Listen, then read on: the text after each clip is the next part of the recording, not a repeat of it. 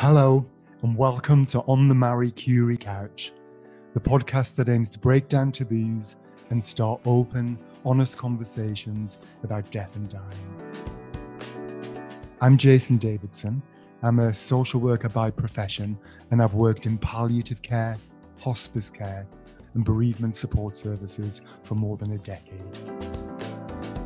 Each episode, we're going to be speaking to a well known guest to find out about how they feel about their own mortality and how their personal experience of bereavement has shaped the way they live their life.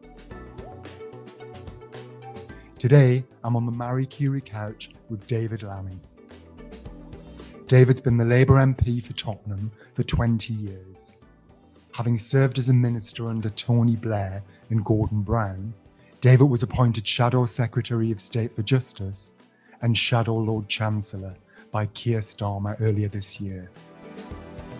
Once a practicing barrister, David authored the influential Lammy Review, which looked at the treatment of Black, Asian, and minority ethnic people in the criminal justice system.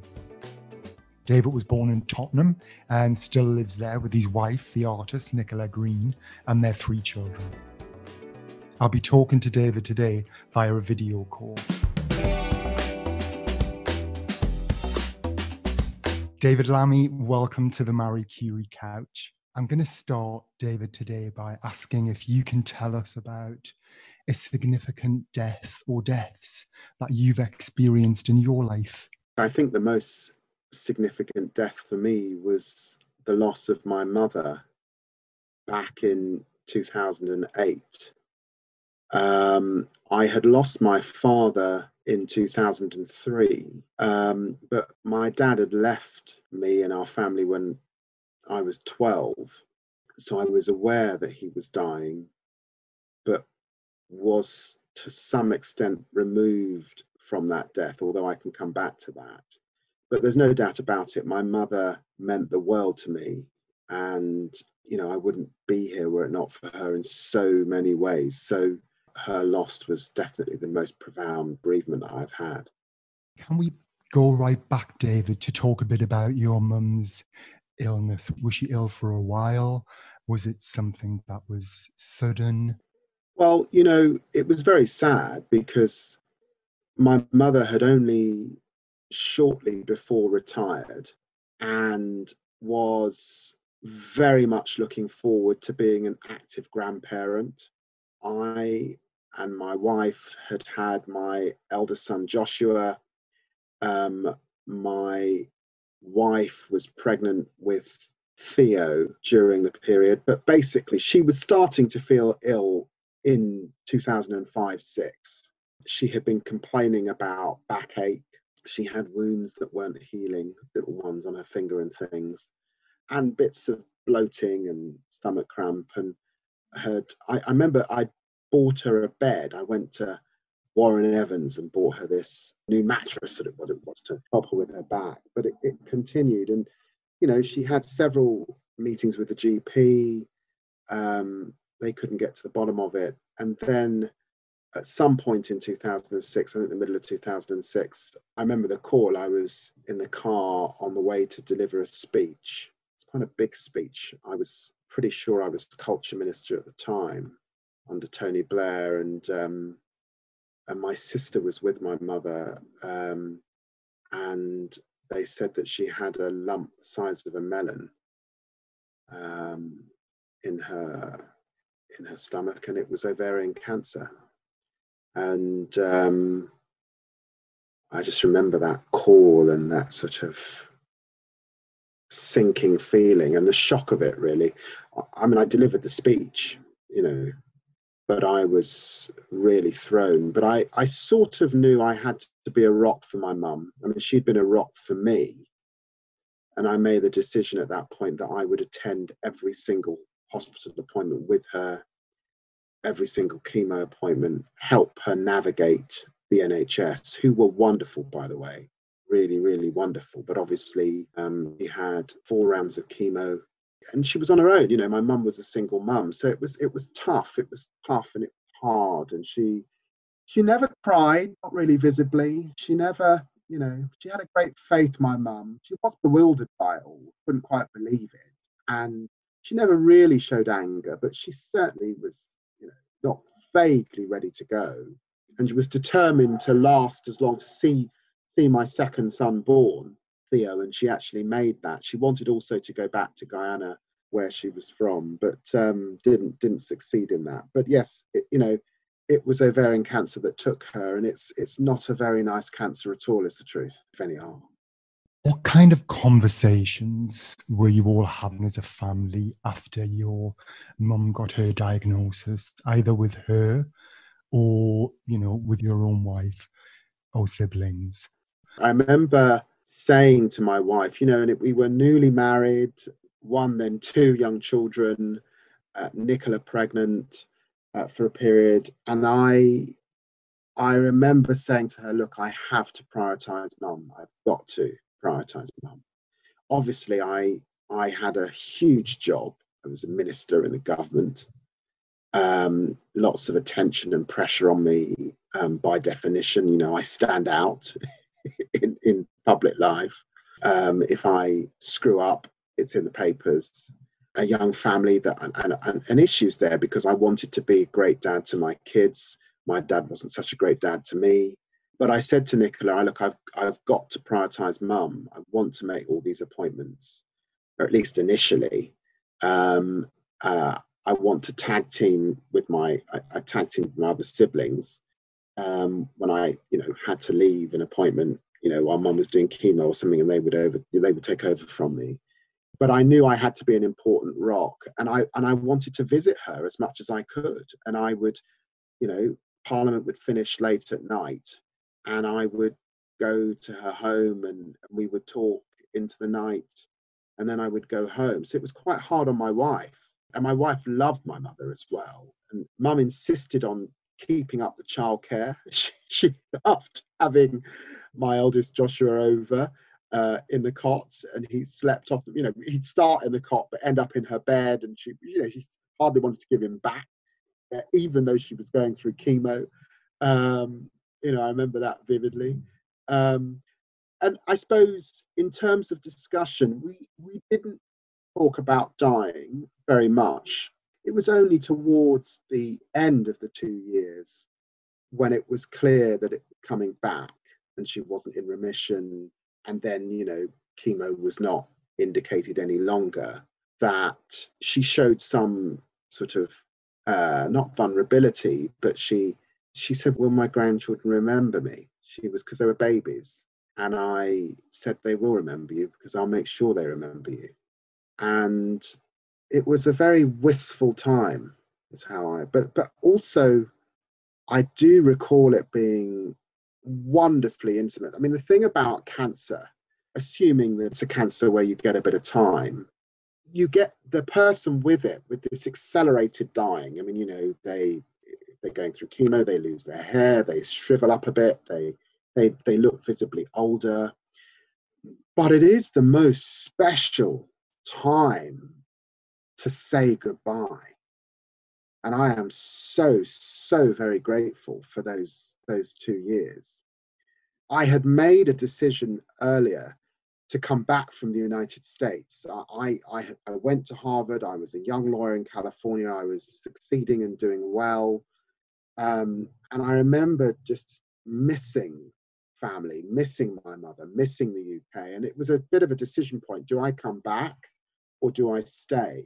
And I'm so grateful I came back. And my mother was a key part of me wanting to come back. I mean, obviously, at that stage, I didn't realize I was going to go into politics. But I am so grateful that we had this period.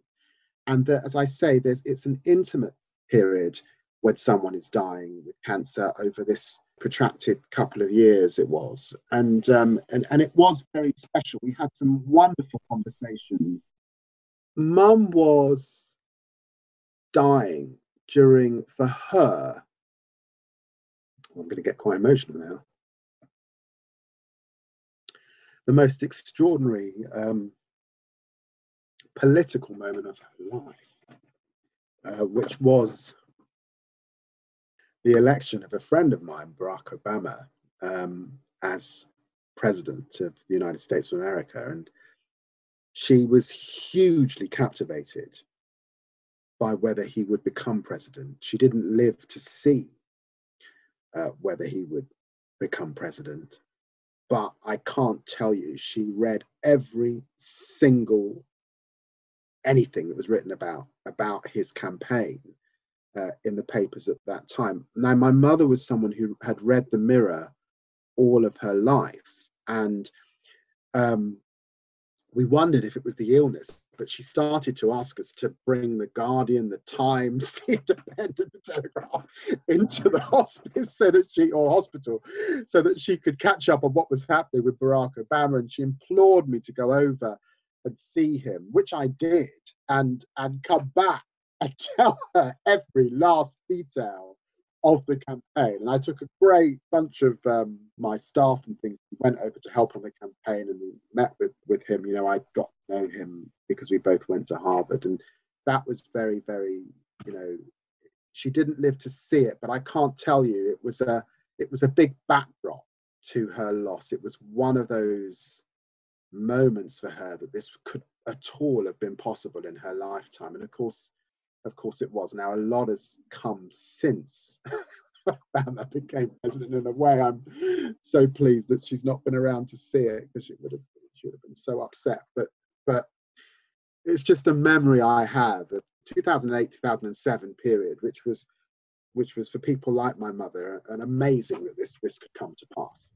And as I say, my mother was my best friend. I mean, we were very close. She was my best friend, my number one ally, a supporter, confident.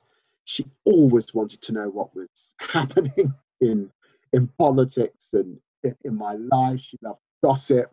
She was just terrific. I was blessed with an extraordinary human being as my mother.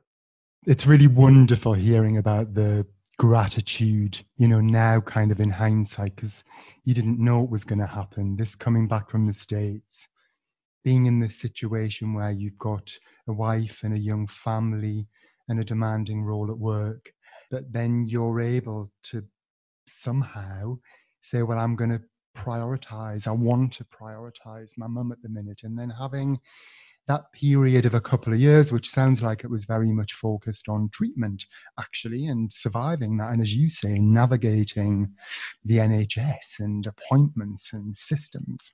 And then you said it got to a point where there was no more treatment options anymore. And that happens for lots of people. And that's when things will often change. Often the conversation changes then. And I know your mum said she spoke about, Will the children remember me?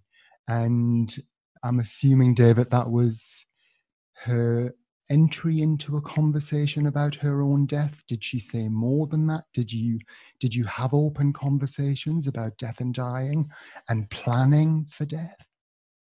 Well my mother was very religious as am i.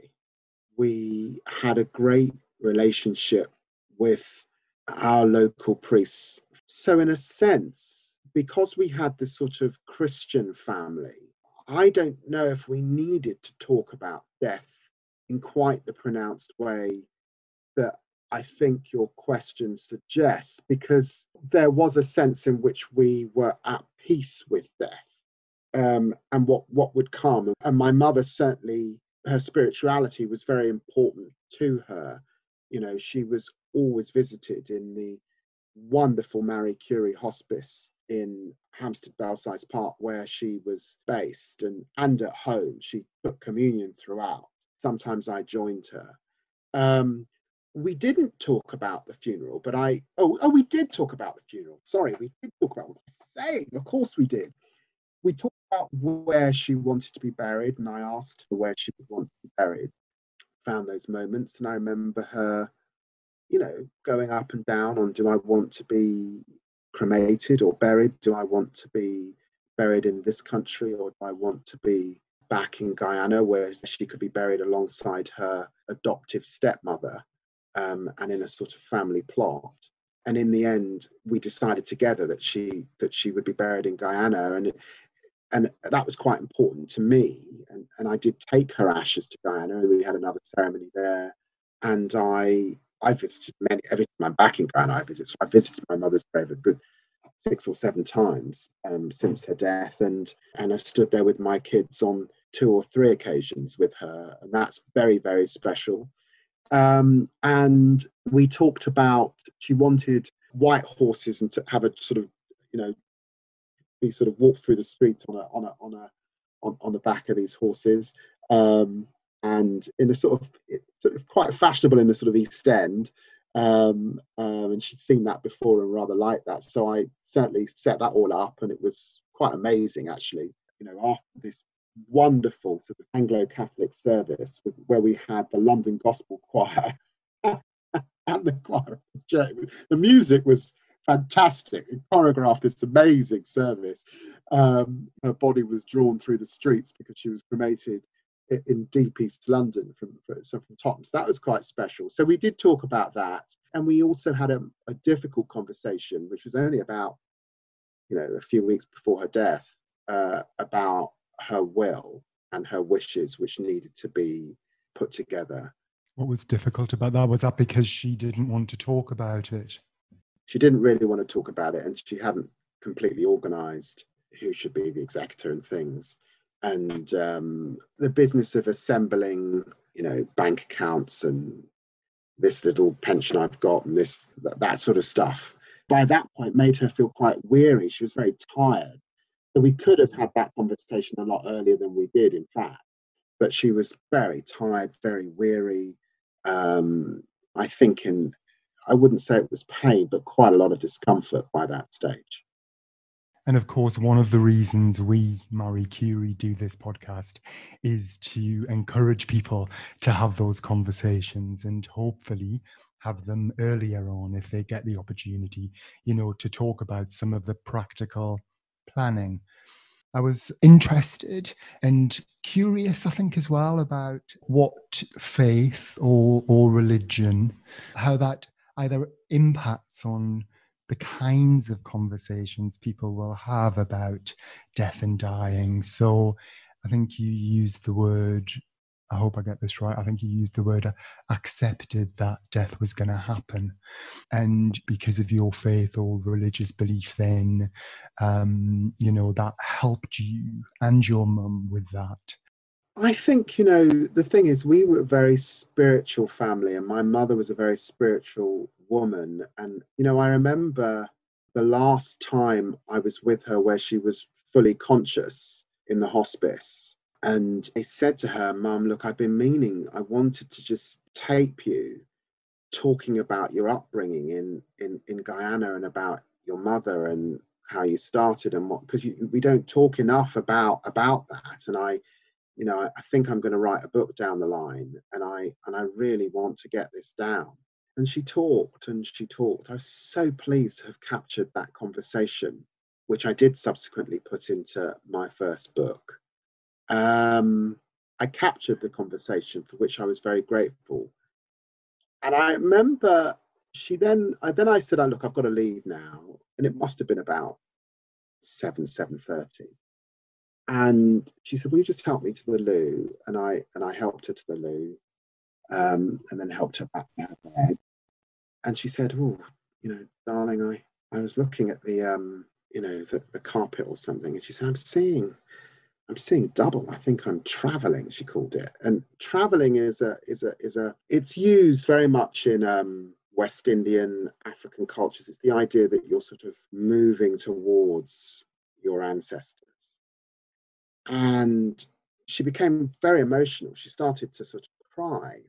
Tears started to roll out and, and she started to laugh and she was very peculiar. But what was clear to me was that my conversation with her had prompted something pushed her to somewhere clearly she started to think about her mother and that she was close to seeing her mother and it made her first sort of tears roll down her eyes but then a sort of laughter and i have to tell you if I am in that point, I will be. I will be dying at some point, and if someone brings my, I'll, I'll be the same.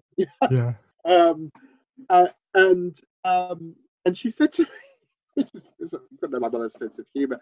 She said to me, "Is this what is this what they say LSD feels like?" Is this what they call tripping? She said it is a cheeky, cheeky, uh, cheeky way. Anyway, I, I sort of, I, you know, I kissed her goodbye and I left her. And then I remember getting a call um, early in the morning, you know, six o'clock, seven o'clock in the morning from the hospital saying, look, you've got to come now. She's, you know, taken a turn for the worst and um, she's definitely into the last stages, round up the family and, and you need to come down here. Um, so I say that to just to, to say it's not entirely about religion. It's this sort of spiritual thing. That's that's not just the faith that you have it's also which but she definitely had and for us is a very um, Catholic faith, but um, it, uh, it, it was just a certain kind of spirituality that my that my mother had, uh, and I say that because I I was also very close to my mother-in-law who died a couple of years ago, and I adored my mother-in-law. Again, a great ally, wonderful woman, took everyone as she found them, uh, she was an artist, a photographer, a wonderful woman. Um, and she was fully engaged in life, but absolutely not someone who, who sort of faced her death. She, she, she did not want to die. you know, she fought death right to the end. And even though she was religious, um, that was not something she was really coming to terms with um, at all. So I saw a sort of different kind of dying uh, with my mother-in-law. And I think that's a really important thing to acknowledge as well that no two deaths are the same, you know, and they can't be. And as you've just described, stuff's, you know, experiences of end of life aren't just influenced by religion, but thinking in a spiritual sense, they're influenced by the lives we've led and who we are and, you know, where we're from. And uh, I think, you know, th- th- those those sort of um, whether they're symbols or rituals around death and thoughts and beliefs, like the traveling. I like that. It was a beautiful story. Every day and night, Marie Curie nurses and frontline staff give vital support to dying people and their families. We rely on the generosity of the public to deliver our care, but due to the coronavirus pandemic, our fundraising activities are grinding to a halt. We urgently need you to donate today. Visit mariecurie.org.uk forward slash donate. When we got to the hospice, by the way, by this point it was myself, my brother, sister, aunts, and uncles were beginning to gather. You know, she did sort of slip into a, I suppose it was like a sort of semi comatose situation as as the as the breathing starts to slow. But and it went on for a good three days or so actually. And there was one point where it was only 24 hours before she died that a particular aunt came to visit. And as I say, my mother was in a sort of sober, measured Anglo-Catholic place in terms of her faith. And this particular aunt that came was in an evangelical um, almost theatrical place in terms of grief. And she started to sort of holler and scream and and carry on when she saw my mother in lying there in in her bed. She was in a, a, a coma by this point, and and even then, because my aunt was being so theatrical in displaying her grief, my mother sort of woke momentarily from her coma and said, um, "Darling, please don't embarrass me. It's, it's such a lovely hospice. Please, please lower your tone. And slip back into this slip back into this this coma and died 24 hours later. So she she was she was absolutely the other thing she said, and this is I've seen this also in in grief over the years with relatives that have died, is is a, she was very grateful that as she put it, she was dying from the bottom up. So it's also taking those moments to give thanks. So not only did I find with the cancer that we had these two years and it was we were, spent a lot of time together, very tight, very special. But also, my mother reminded us that she was dying. She said, Look, you either die from the head down or the feet up. And I'm dying from the feet up, which means that I'm still here right to the end.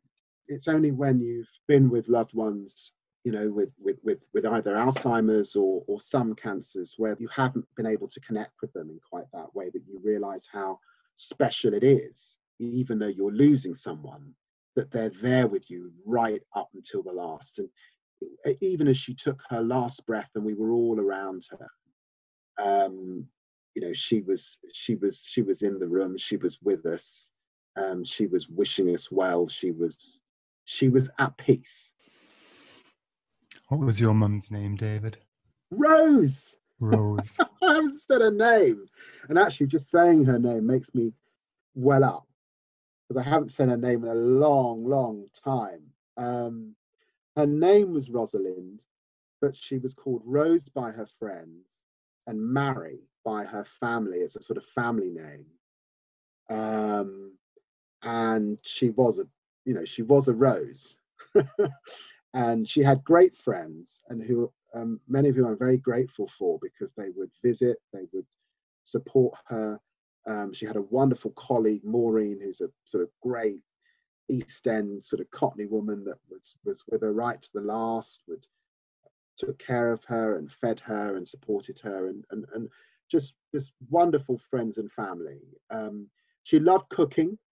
Um, you know, people came from miles around to to experienced my mum's cooking. She was at her happiest when um, people were enjoying her delicious food. She loved family, she loved children. Um, she'd been a kindergarten teacher um, back in Guyana, loved kids, loved supporting other people's children, loved food, loved family. That was my mother. But but actually quite a shy woman. Um, you know, she could become very shy, uh, you know, around um, people with status or public figures. Um, she was very, very supportive of me and proud of what I've done, but would become almost tongue-tied if I thrust her into a situation with, um, you know, a political situation with important people. David, first off, thank you for sharing Rose's story, some of Rose's story. You know, it's so wonderful to hear. I was going to ask about your dad because you mentioned him at the beginning and wondered if you would mind telling us a bit about your dad's death. Well, my dad died of lung cancer. He died in the States. He left me and our family when I was 12. He died in 2003. I remember it vividly because we got this message um, from a family friend that he was in contact with in the States that he was dying. It was during the run up to the Iraq War, um, which was a very intense time in, in politics, obviously in the country. And I had to make a decision about whether I would go to the States and, and, and, and be with him. Um, all of us as siblings had to weigh that. And I decided that I wasn't going to go back, that I didn't, you know, I, I didn't feel that I wanted to open the Pandora's box that had been my father's life. Um, he died a pauper. Uh, he'd always drunk and smoked heavily, but he, he died with very, very little. Um, and but I did go back after he died, and I I went back a couple of times, and I was very. It was important to me to um, give him a headstone. He didn't have a headstone because you know, as I say, he died with nothing, and um, and I I forgave my dad. Um, you know, I I again wanted to be at peace with my dad, and I do go back to the states from time to time when I'm in that part of the states to to visit his grave and tend to it and um, and talk to him. Um, dad had his demons and had his challenges and had left his family. I know that he again was very proud of me and um, proud of his kids, but but um, you know he, he, was a bit of a troubled soul. I just think that deeply respectful gesture about giving someone a headstone was that part of the forgiveness. It was the part of the. It was something I could do financially, and he deserved that dignity. You know, my dad deserved that. Um, he was a um, kind man. He was a fun uh, charming man. He made a lot of people smile, a lot of people laugh. He was the kind of guy that, you know, he'd go into the pub and uh, and spend his change buying drinks for everybody else. you know, um, um, one of those people that was pretty tough on his family, but my God, you know, his friends thought he was great. Um, anyway, he deserved the dignity of recognition of a life lived and definitely forgiveness. Um, and so I wanted to to play my role in that. What was your dad's name? David. I was David Jr. for a lot of my youth. David, what was grief like for you and what helped you with your grief? Well, my experience of grief when you've had a fantastic relationship like the one I had with my mother, and that we had this special two years to come to terms with what was happening, to say the things that we needed to say, to experience what we needed to experience, was actually that grief was hard, tough, painful, but not scarring, is what I'd say. And if anything, the hardest bit of the grief is what's left behind. It's it's the, you know, experiencing your siblings, experiencing grief in different ways at different times, thinking that you would be able to support each other, but having to come to terms that you can't always support each other because people are experiencing very different ways to to be and, and the nature of grief. Um, I really found very helpful bereavement counselling. Uh, again, because of the job I was doing, I, I wanted to be structured in the way I approach grief. And I'm so grateful to Marie Curie for the bereavement counselling that was offered um, for weeks after uh, mum died. Um, and a lot of that counselling is actually about how you're handling literally the loss she's gone and there's this space and frankly everyone is floundering in this space? And what does this new look like? And how are you going to deal with this new? And that a story in the family that went on for for, for several years. Um, and then i think i've realized that where the relationship has been perhaps less functional there have been problems there have been issues and certainly uh, in relation to my father, and I've seen this in other families because I, as a constituency MP, people come to you at toughest moments in their life, and grief is one of them, where family family stuff has come up, dispute has come up, and and again, it, you you realise that grief can be a hell of a lot harder if the relationships have been less secure, they've been more problematic, um, and again, different siblings, partner left behind. There's a sort of complexity, really, that that makes makes grief and dealing with grief very very hard. And I always say it's a bit like um, it's like driftwood at the bottom of the ocean. It's long fallen to the bottom of the ocean, but bits are coming off the ship and drifting up to the surface.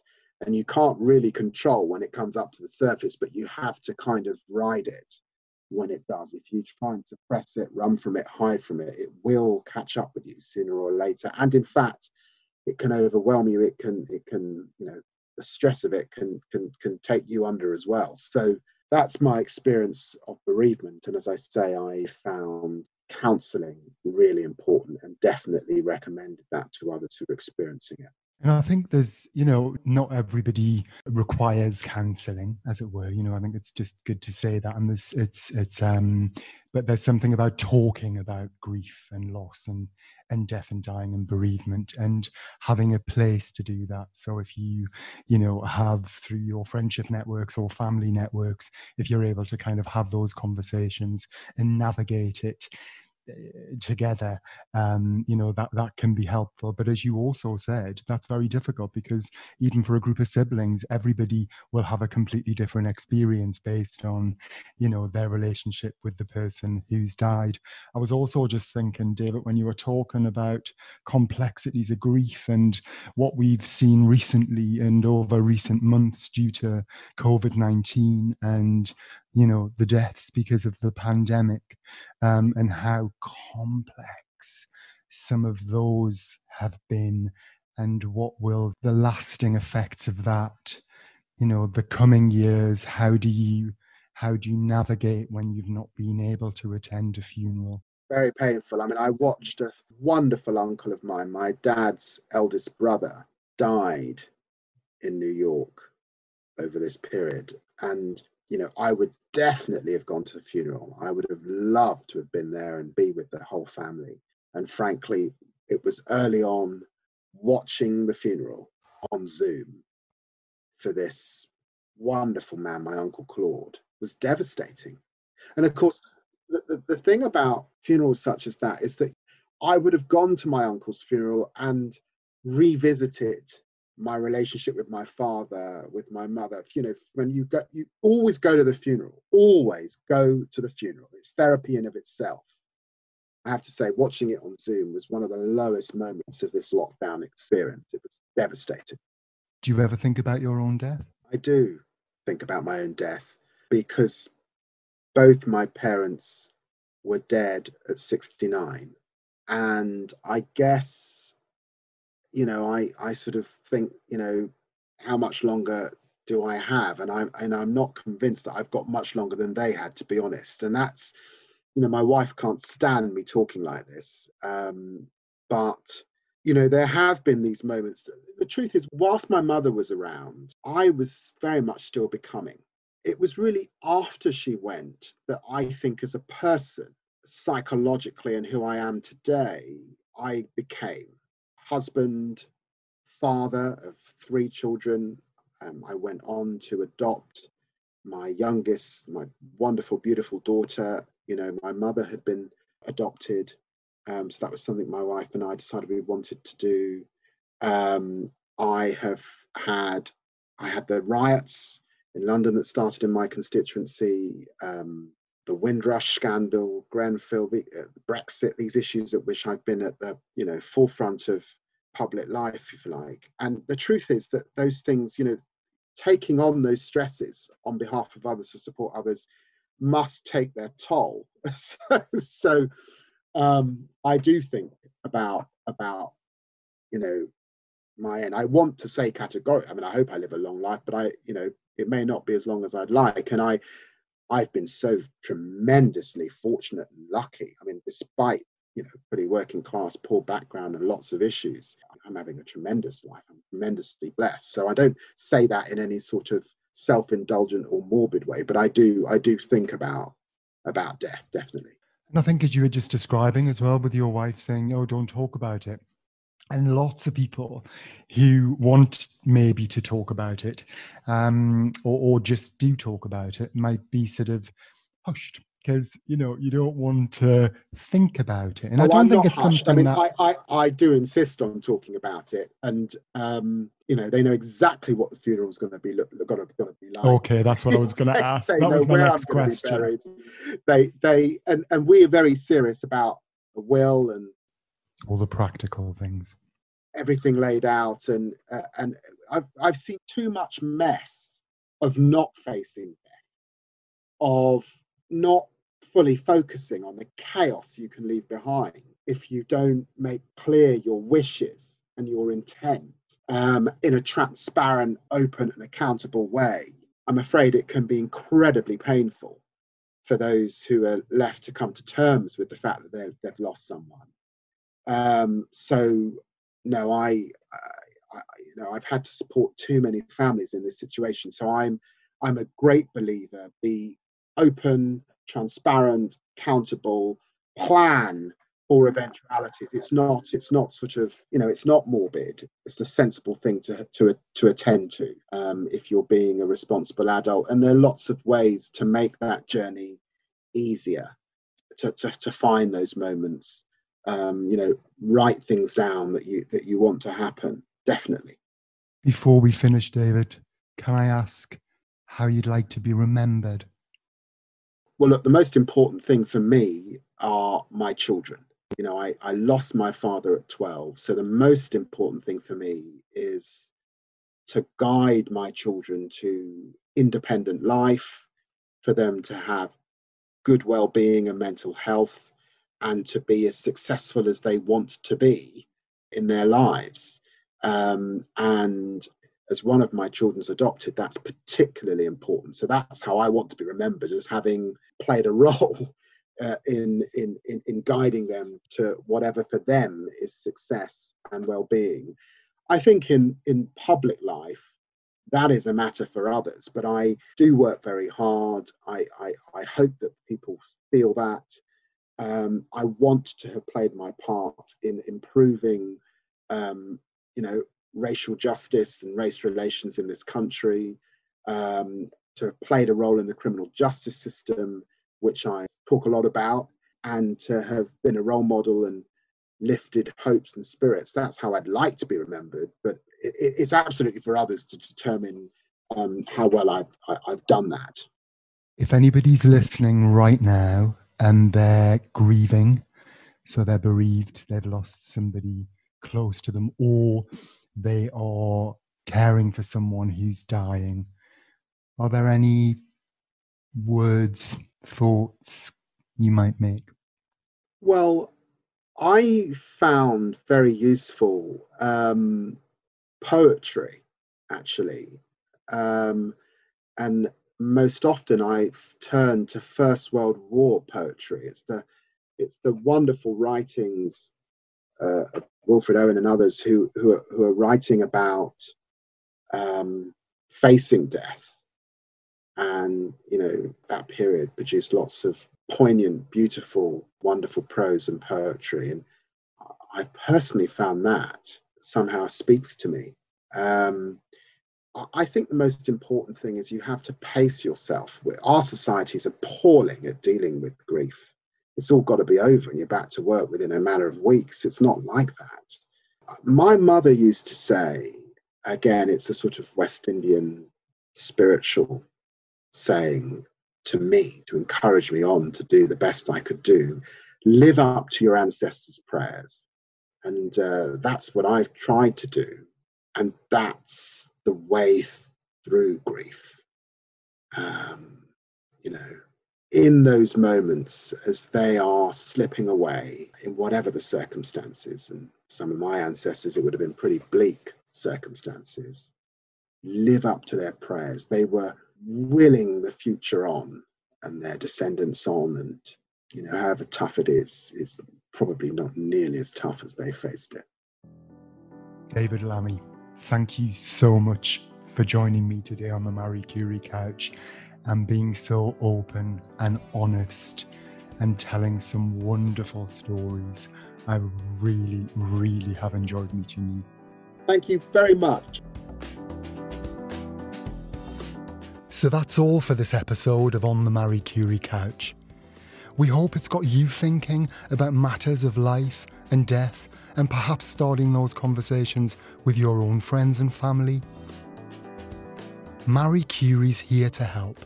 From planning ahead to coping with bereavement, you can talk through any concerns you have around the end of life with our support line team, which also includes specially trained nurses call us on 0800 090 2309 or search Marie Curie online.